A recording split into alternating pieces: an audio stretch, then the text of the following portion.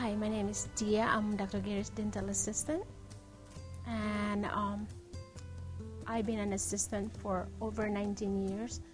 And in this office, we truly cares about our patients. It's very important that the patients is very comfortable when Dr. Gerry uh, doing the procedure.